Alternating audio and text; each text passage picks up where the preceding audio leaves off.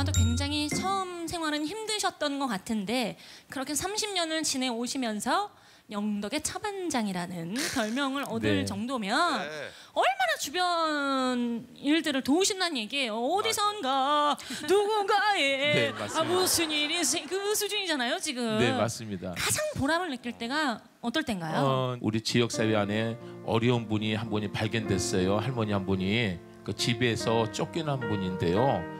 그래서 설 때 당장 이분을 어디 어, 이 방이라도 이 만들어 드려야 하는데 일주일 동안 제가 찜질방하고 식사비를 드리고 그리고 나서 이제 방을 찾기를 시작했죠. 그래서 방을 시장 있는 그 곳에 방을 하나 찾았는데요. 또 문제는 돈이 없잖아요. 그래서 제가 어, 아까 차반장이라는 네. 그 영덕의 그 닉네임을 가지고 했더니 그 집주인 어르신이 저를 너무 잘 알아요. 야. 그래서 목사님 얼굴 보고 방을 그냥 드, 이- 드릴 어. 테니까 돈은 천천히 달라고. 와. 예, 그래서 이제 그분을 이제 그쪽으로 이제 모셔다 드리고 세상에. 뭐 기름도 넣- 좀 넣어 드리고 네. 그리고 살도록 이렇게 좀 하고 또 어, 군에 의뢰해서 기초생활 수급권자로 어머나. 이렇게 또 이렇게 만들어 드리는 과정을 하면서 했는데요.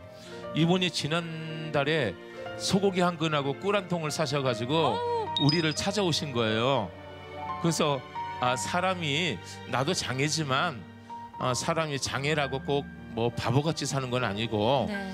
어, 이 땅에 장애지만 장애자들도 이 땅에 어, 나눔을 주고 이렇게 선한 영향력을 끼치며 살 수 있다. 그래서 그것이 저희 행복인 것 같습니다. 예. 네. 노래를 또 잘 불러주셔야 좋은 결과가 있을 텐데 네. 어떤 노래 준비하셨나요? 예, 저희 인생과 어쩌면 그 똑같은지 그 김용임 씨의 부처 같은 부초 같은 인생. 네, 박수로 청해 듣겠습니다. 들어보겠습니다.